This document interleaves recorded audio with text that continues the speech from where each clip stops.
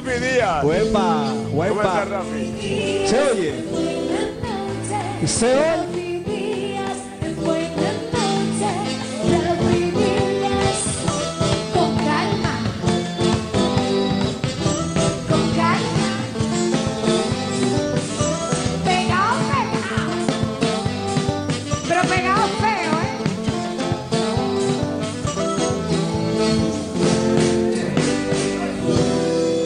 ¿Por qué? ¿Por qué ya, por qué ya sí? ¿Cómo? ¿Por qué? No, no, chivirica. Ahí sí, ahí sí, ahí. Chivirica. Ay, Dios. Ustedes son músicos. No entendemos, ¿verdad? Entre músicos te Lo que es músico, guardia, policía, todos no entendemos. Bombero. Cachimbero. Cachimbero, saxofonista. Yeah, eh. Acordeonista, Willy. Todos se entienden. Eh. Cantando Giovanni Polanco. Todos se entienden. Rafi, la música típica te llena a ti. Claro, acuérdate que yo soy, yo nací aquí en Santiago, en la, en la clínica Tolentino, y me crié en Guananico, Puerto Plata. Entonces, yo me crié eh, siendo un niño, escuchando a Miro Francisco, que es el esposo de Valeriana, mi tía Valeriana, que tocaba Miro Francisco con Tatico Enríquez. Oh. Y Facundo Peña de allá, de Rincón Caliente, de Guananico. Pero nunca te gustó en tus inicios música típica y eso. No, mira, de verdad que nunca me imaginé, nunca me imaginé. ¿Tu primer grupo cuál fue? Yo empecé en Guananí con un coro de la iglesia, ahí fue mi primer grupo. Ahí, fue, ahí fue yo me inicié, no, no, es- no es el cliché que usan todos. Yo, yo me inicié. ¿Y tú un- nunca fuiste a Monaguillo? No, no, Monaguillo no. Monaguillo no. Porque tú tienes cara como de Monaguillo, sí. ¿Tú qué?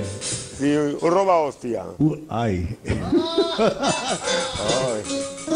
Primo, el primo yo. Y después fuiste a orquesta. De ahí, de, de sí, me fui para, para la capital, jovencito, con 16 años. Con 12. Con 16 años. Y entré con el maestro Coqui Acosta, calentando la pista. Es un ángel. Ahí grabé ese merengue con Karen Records. Es un ángel el que tengo por amor, por amor. Es un ángel el que cuida por mi amor, por mi amor. Es un ángel. Con Coqui Acosta bajo el sello Karen Records. ¿Y después? De ahí me fui con Alex Bueno y Caro David en Sabro Show. Con Alex Bueno y Caro David. Diablos, eso, eso- eso- eso es una vaina. Ey, le buscó bienvenido a, a Carlos David a Ale para que se quitara, que Ale, Ale estaba Sí. Contento. contento. Muy bien, muy bien. Entonces tú comenzaste a hacer familia temprano. Familia, eh, Fami- Hijos. Ajá. Hijo. Sí. Lo que tú siempre has hecho. sí, sí. eh, eh, recuerdo yo cuando, cuando entré con Coqui Acosta, ahí me, me nació mi primera hija, que es Marucha de apodo, que se llama Marielin. Mi primer hija, eh, sí, me, me violaron allá en Guadanico. A ti te Sí, porque yo era un chamaquito que yo no sabía bien lo que era eso, ni nada, ni que, que- que- ni que, ni que, que había que protegerse, que, que sabía yo. Nada. Pero Nada. recuérdate que tú estabas con Coqui Acosta. No, no, antes fue antes de Coqui. O sea, empezando el primer día, yo recuerdo que ella nació ese mismo día. Yo cogí para la capital detrás de, detrás de mi hija, para ver mi hija, y me quedé, me Muy quedé bien. allá. Muy pues o sea que ya tú tienes nieto. ¿Tengo un nieto? ¿Qué? Tengo un nieto, claro. Un nieto. Un nieto, no te voy a decir la edad para que no calcule. Porque ese es el abuelo Rafi es una persona muy importante para mí. No solo porque es mi abuelo, pero porque gracias a él y otros familiares me corre la música en la sangre. Yo me recuerdo cuando yo era chiquitico y cualquier merengue que sonaba en la casa de él o de cualquier persona, yo de una vez con el peine, cogía la mano y una vez a tocar. Eso era lo que yo hacía, tocar hubiera con la mano. Y yo me recuerdo también cuando a veces, cuando yo, cuando tenía fiesta o algo, él, él me llevaba con él, me subía a tocar. Y yo, como un chamaquito, me subía a la tarima como nada. Y también me recuerdo cuando me llevaba para los videos de los musicales. Porque tú sabes que yo, yo nada más lo veía. Y era algo muy importante y algo muy divertido que tener esa experiencia de ver cómo se hacía todo eso. Pero más que todo, gracias a mi, a mi abuelo Rafi, que él fue que hoy, musicalmente, personalmente, pero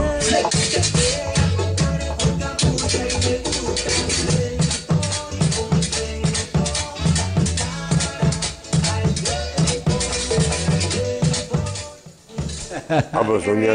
El Raimer, compadre, Raimer. Él toca, toca tambora, toca conga, toca un poco de piano, toca guira, o sea, un músico. Pues yo pensaba un nieto de dos años, era que yo pensaba. No, no, no, no, no, no. ¿Pero y qué? ¿Pero, y- pero y qué? ¿Y qué? Pero, pero, pero, eh, o sea, es- eso es normal. En, en esta época tú ves las chamaquitas ya a los 15. No, pero si, si ese nieto se descuida, se te pasa a ti. Sí, sí, sí. Ese es Raimer, hijo de mi Marucha, de mi primera hija, Marucha, que estaba con Henry Hierro, que yo grabé el tema, a ella le encanta, ahí que yo la, ¿te acuerdas? Yo le puse al tema, se- el tema se llamaba Ahí, y yo le puse Marucha, y eso se pegó de una forma eh, increíble, y la gente pensaba que era una mujer, una novia mía, no, y era mi hija Marucha, de apodo Marucha, y se pegó muchísimo eso. ¿Tú tienes cuántos hijos? Yo tengo dos, yo tengo dos hijas.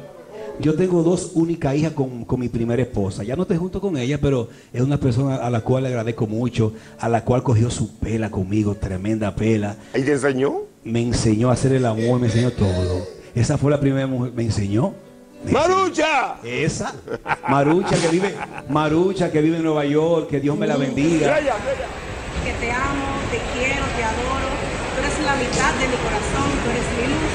Estoy muy orgullosa de ti, de los logros que has hecho todo este tiempo. Un luchador inagotable y como padre, ¿qué te puedo decir? El mejor padre del mundo.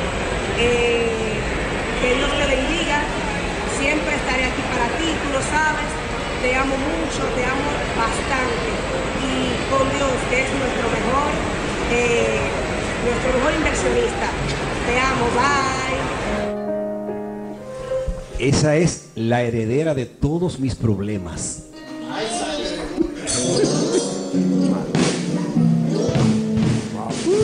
No, no, es la verdad que esa muchachita, mi primera hija, Marieli Marucha, que Dios me la bendiga. eh, ella siempre empezó conmigo a trabajar conmigo en mi proyecto al principio. Después tuvo que irse a Estados Unidos porque su esposo la pidió y se casó por la iglesia. Yo feliz y contento de que mi hija Marucha, Marielin, está en Estados Unidos. Está ahora aquí en el país porque se le murió un familiar y estaba cumpliendo y eso. Pero tremenda muchacha, trabajadora, humilde, sencilla. Y Yukensi la otra, Yukensi. Sí, ¿qué hice la otra? Yukensi. Muy bien.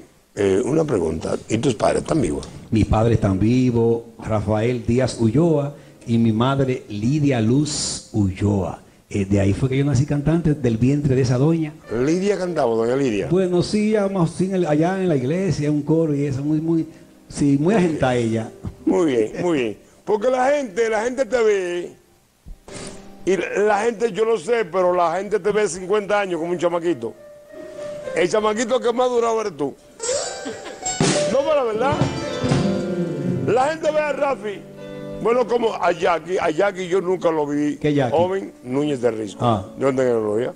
A Jackie yo nunca lo vi joven y a ti nunca te he visto yo.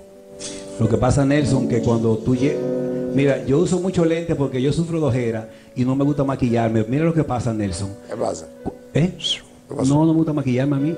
No, no, no me gusta porque- natural. Y ese no. pelo es natural, así también. Bueno, me sé que habló, voy a venir para acá porque... Pero yo me- digo el color. Ah, sí, no, no tengo cara. ¿Tú quieres ver si él tiene ganas? Vean, cheque, un, ¿Tú un- quieres un ver si poquito, tiene un poquito. No, no, no. Ahí se esconden. ¿Tú quieres ver si tiene ganas? Ah, ¿Qué, eh? ¿Le quieres descubrir la cara? O sea que ahí se esconden. ¿Eh? Ahí se esconden. Nunca me he puesto un tinte, te lo juro por Dios, nunca me he puesto un tinte. No, no, No, no, eres bendecido. Nunca me... Bendecido. De, de- de hecho, tengo un poquito aquí de cana, pero no me, no me gusta el tinte, ¿no? Felicitamos a tu distinguida madre. La valoramos y la respetamos. La Lidia, respetamos. Lidia Luz Ulloa. Muy bien. Él es un buen hijo, un buen padre y un buen hermano. Él es muy trabajador, muy luchón. Rafi, que Dios te bendiga, te quiero mucho. Yo siempre oro por ti y por tus amigos. Tú lo sabes porque tú y yo siempre nos comunicamos. Aunque yo vivo lejos aquí en Miami, pero yo siempre hablo contigo.